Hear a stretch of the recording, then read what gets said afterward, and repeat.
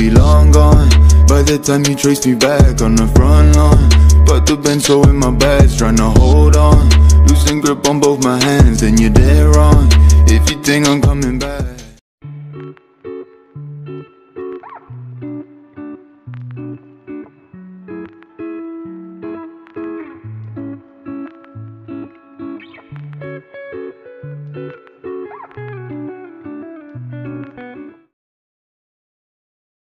Capítulo 4 Masacre. Me gustaría poder proteger a otros, inocentes, al igual que nosotras para que no sufran como tuvimos que hacer cuando pasó lo de la aldea del remolino expreso Ana tranquilamente desde el monte Okage viendo al cielo, después de haber enterrado a Sarumo. Kusina esperaba ver lágrimas de desesperación, pero solo había un ambiente triste y solitario en su mejor amiga. ¿Vas a ser Okage? Cuestionó divertida intentando aliviar el ambiente. No funcionó claramente. La sonrisa de Ana era tan sola. No, eso es mejor para gente como Minato o el tercero yo sería solamente un ninja entre otros que quiere proteger a las personas. ¿No quieres hacer un cambio? No sé si pueda, para hacer un cambio, ocuparía ya sabes, una bestia gigante en mi interior o un talento como el de Minato. Tienes talento Ana. Tal vez. Suenas deprimente. Estoy deprimida. Ambas vieron el atardecer, como este parecía teñir de rojo todo a su alrededor, era precioso, pero ninguna pudo ver la belleza en eso. No hoy al menos. Tal vez algún día, alguien pueda hacer una diferencia, ya sabes, ser un héroe que pueda cambiar a otros y protegerlos al mismo tiempo, musitó Ana abrazando sus rodillas. Kusina solo la vio de reojo antes de volver al atardecer. Tal vez. Sus ojos se abrieron con incredulidad en la sala de estar, Naruto no dejaba de jugar con una kunai diciendo que sería el ninja más fuerte de todos, antes de intentar un busin que claramente no salió como este esperaba. Se preguntó por qué recordaría a Ana de la nada, aunque realmente no era algo nuevo a lo largo de los años. Una extraña opresión en su pecho la hizo sujetarlo sin entender, porque sentía una ansiedad esa noche. ¿Oka-chan? Preguntó Naruto ladeando el rostro. Ella sonrió. Seguramente era porque Minato estaba lejos y a ella no le gustaba eso. Seguramente. Hay una gran diferencia entre pelear en un entrenamiento con sus compañeros, la prueba de Kakashi y el encuentro con este enmascarado. En las dos primeras su vida claramente no corría ningún riesgo, lo cual no podía decir con su situación actual, donde sus instintos le gritaban que huyera lejos de esto. Durante años su instinto fue la que le salvó, alejarse del peligro inminente o de las malas intenciones de otros, jamás espero que estuviera frente a la peor cantidad de instinto asesino bajo su propia voluntad. Correr. Alertar. Eso era su destino. Incluso si era probable que no pudieran huir, eso era lo que un genin podía hacer. Si algunos miembros adultos de la policía de Konoha con el Sharingan no habían hecho batalla a esos monstruos, claramente tres ninjas con un día de promoción, no harían una gran diferencia. Pero mientras buscaban ayuda y si encontraban, más personas morirían. Ella tan solo ayer había dicho que deseaba proteger a las personas. Pero ahora que podía hacerlo, estaba aterrada. Porque entendió que si bien siempre fue odiada en la aldea, si bien habían tratado de matarla, siempre tenía el chance de huir, algún ambú ocasionalmente la salvaría, había esperanzas. Pero si se quedaban en esta batalla, era muy probable que murieran. ¿Qué hacer?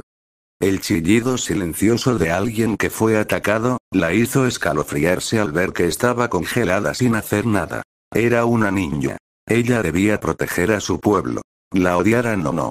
Ella había querido luchar. Muévete. Por fin su cuerpo respondió corriendo al enmascarado con una cuna y en mano, pero antes de llegar el tipo había desaparecido. Su cuerpo se congeló al ver que este era demasiado rápido, que iba a morir, pero sus instintos la hicieron saltar a la derecha esquivando la lanza que se estampó contra el suelo donde antes estaba. Movió su cabeza para eliminar la siguiente lanza y como el único ojo visible del enmascarado parecía brillar.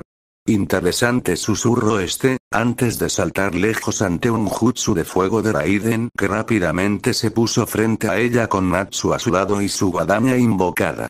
Esto es ridículo, va a matarnos señaló la niña que claramente parecía estar temblando, muy similar a Raiden. Era cierto.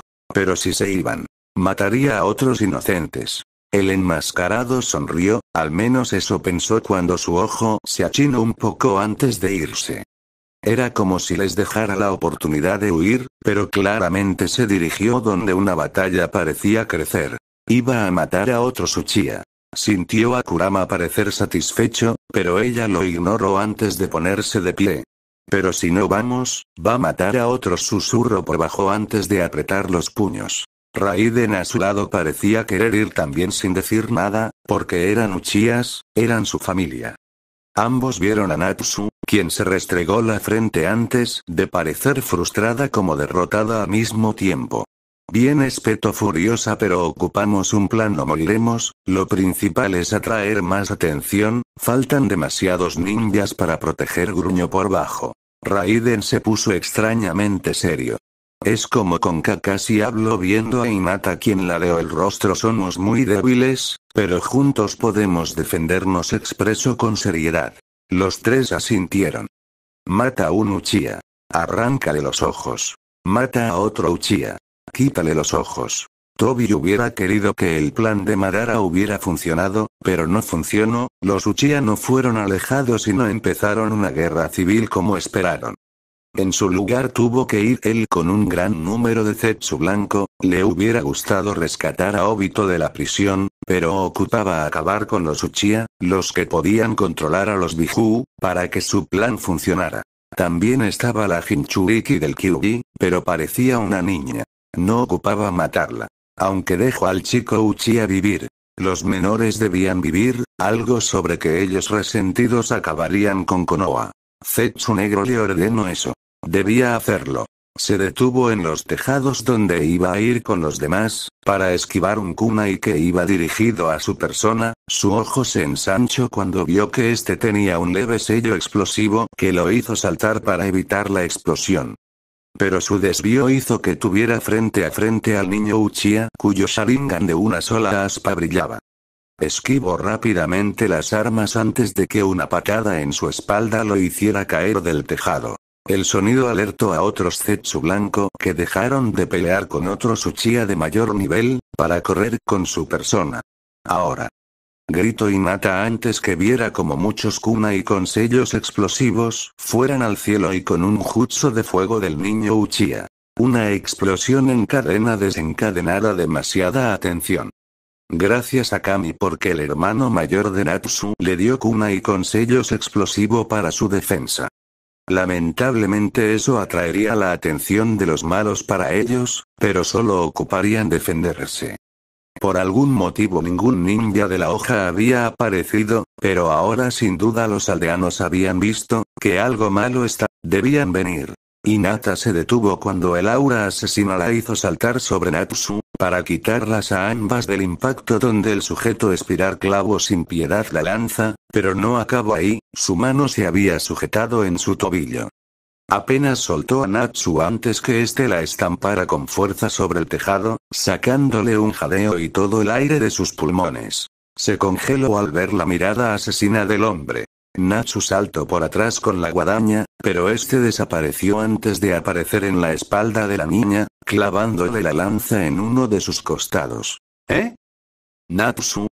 Susurro con confusión cuando el enmascarado le quitó la lanza haciéndola caer con boca saliendo de su sangre a su lado. Sangre que ahora cubría su rostro. Algo dentro de ella se puso en shock. Natsu, dijo colocando una mano en su hombro, sintiendo como esta parecía algo fría. QB, no es el momento que vengas con nosotros, expresó el chico que antes había sonado infantil, con voz fría, gruesa, carente de emociones. Natsu. Un dolor palpante apareció en su frente, casi más específico en sus ojos, al ver la sangre de sus manos perteneciente a su compañera de equipo. Muerte. Una muerte más frente a ella. No debería importarle, nadie se preocupaba por ella, no debería preocuparse por la muerte de otros, no podía salvarlos a todos.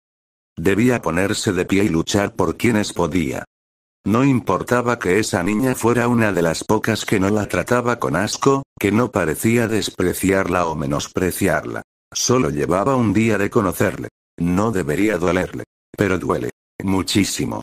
Giro a ver al hombre con instinto asesino mientras el chakra rojizo se comenzaba a filtrar a su alrededor y un dolor inimaginable aparece en sus ojos. Todo a su alrededor parece perder forma, todo parece verse diferente, como el extraño flujo celeste parecido a las venas del sujeto frente a ella, como si pudiera atravesarlo.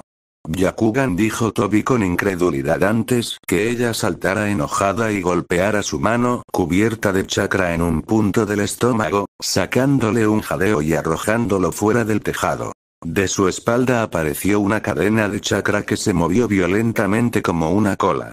Esta atravesó sin piedad al Zetsu blanco que se había arrojado sobre ella, partiéndolo en dos como si fuera una hoja, viendo con instinto asesino a Toby. Dejó su ira fluir sincronizada con la de Kurama. Matar. Pensó antes de arrojarse sobre este moviendo su cola rápidamente atacando todo a su alrededor.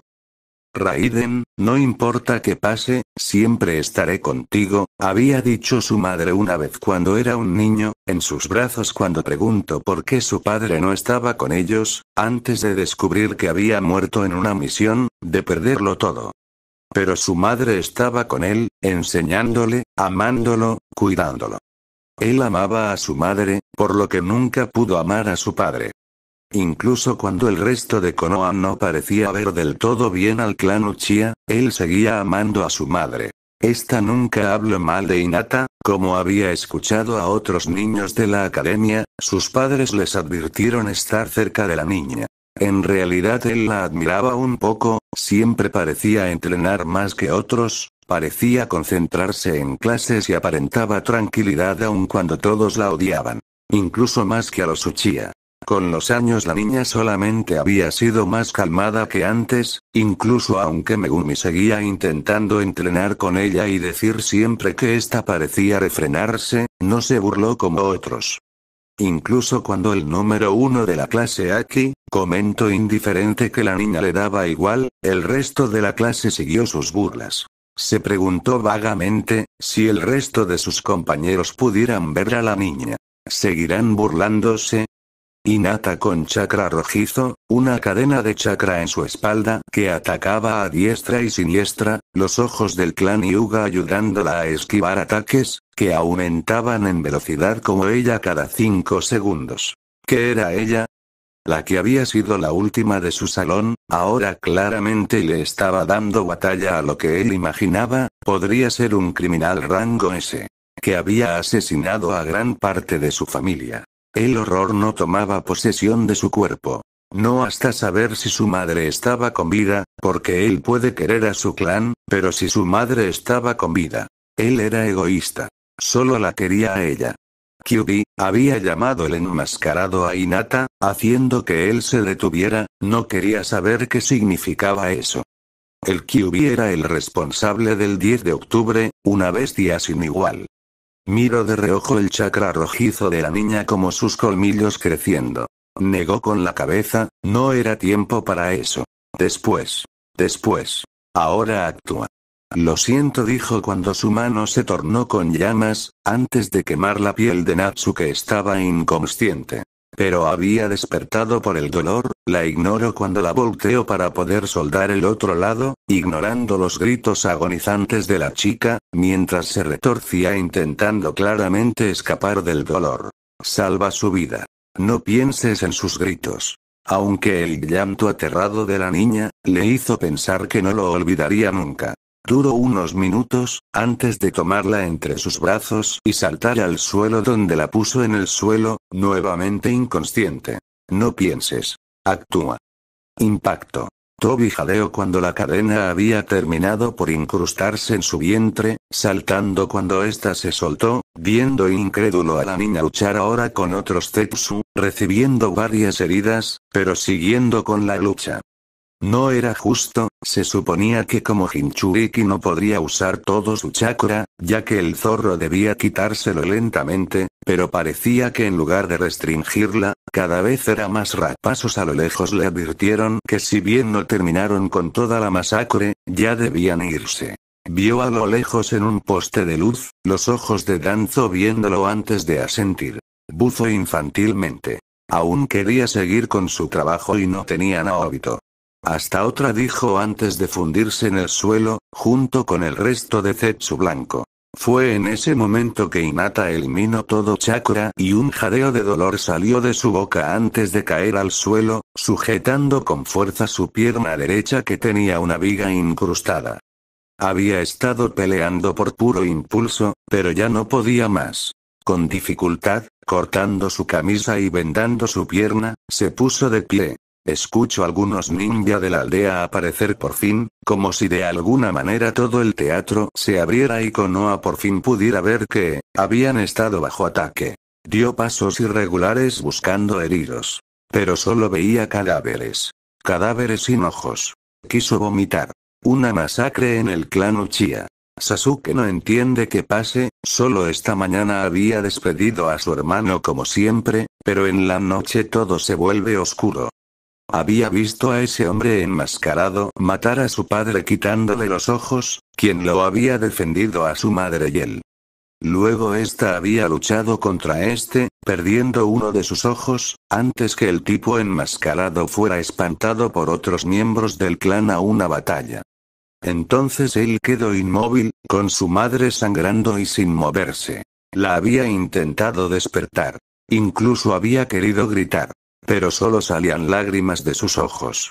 Gomen Sasuke decía a su madre cuando despertó minutos después, donde la pelea parecía seguir afuera. Pero escuchaba gritos de dolor, sentía la sangre en todas direcciones. Muerte. Todos morirían. Y él quedaría solo. Vendrían por él para matarlo también. Okasan sujetando su mano, porque ella no podía morir. No como su padre, que si bien estricto y gruñón cuando no demostraba ser Itachi, era su padre a quien también había querido y respetado como líder. Sus pensamientos fueron eliminados cuando la puerta se abrió rudamente, giró asustado pensando que habían venido a matarlo.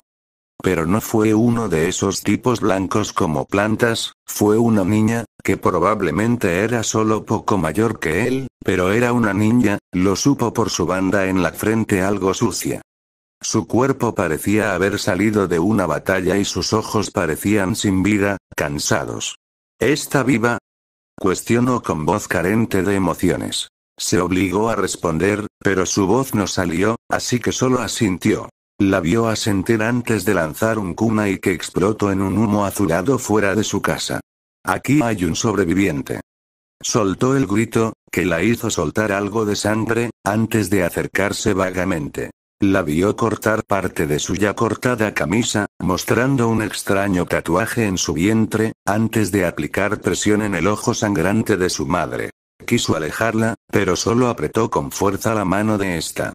Ana, musitó su madre viendo a la chica, que no se inmutó. La vio vagamente antes de verlo a él. ¿Es tu madre? Preguntó nuevamente. Sin poder hablar todavía, asintió vagamente con temblor en su cuerpo, su madre estaba cada vez más débil. Vio los ojos de la chica sentir en brillo decidido antes de ver a su madre con seriedad. Tu hijo está aquí, sé que duele, sé que es cansado, pero joder debes vivir por tu hijo, los padres viven por sus hijos y tú vas a sobrevivir. Ana lo siento tanto, no soy Ana, bueno no importa, no pienso perdonarte si mueres, Sasuke vio fijamente como su madre parecía llorar en su ojo bueno, antes que varios ninja médico aparecieran en el salón y los alejaran a ambos. Vio como uno de ellos parecía aterrado de ver a la niña que había entrado antes, pero ésta solo salió cojeando por la puerta, parecía buscar algo y siguió su camino. Lo llevaron con su madre al hospital. Aquí es mejor que tu Natsuko, deberías aprender más a él, despertó con el recuerdo de las palabras de su padre en su mente, antes de gimotear al sentir un terrible dolor en su vientre.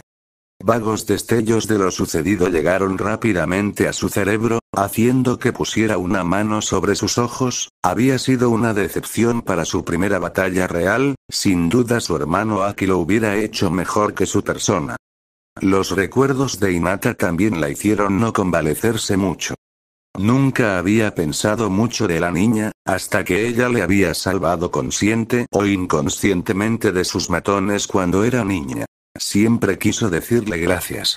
Aunque había escuchado a su padre decirle miles de veces a Aki y a ella que no se acercaran a la niña, era el mismo padre que no dejaba de alabar a su hermano sin decirle nada a ella. No parecía mala. Solo parecía solitaria. Pero en la batalla algo había cambiado. No era normal. Nada tenía sentido. Veo que despertaste, habló una voz a su lado, que la hizo girar rápidamente para ver a su hermano mayor Shoto tranquilamente sentado viéndola con una sonrisa. Ni-san susurró sintiendo dolor en su vientre por hablar. Por supuesto que estaría su hermano, sus padres seguramente estarían alabando a su hermano mellizo mientras ella estaba convaleciente. Tampoco es que quisiera verlos, para que ellos le dijeran la vergüenza que era por haber sido eliminada de la batalla de esa forma. Tranquila Nachan, tus heridas si bien están sanando, eran graves. Enfrentaron a un criminal rango ese dijo lo último con un tono de fría seriedad. Se imaginaba. La batalla había sido casi unilateral, incluso con la gran cantidad de chakra de Inata, sin duda el enemigo parecía haber estado jugando con su persona. Tus compañeros dijeron que fue la idea la de los explosivos, eso alertó a la aldea, parecía que había alguien que intentó ocultar la masacre susurró lo último en voz baja. Masacre. Apretó los puños pensando que hubiera pasado si hubieran dado media vuelta e irse como quiso, en lugar de seguir la estúpida idea de Inata de ir a ayudar. Bueno, claramente no tendría una herida en su vientre, pero si eso había rescatado a una persona. ¿Eso no era ser un ninja?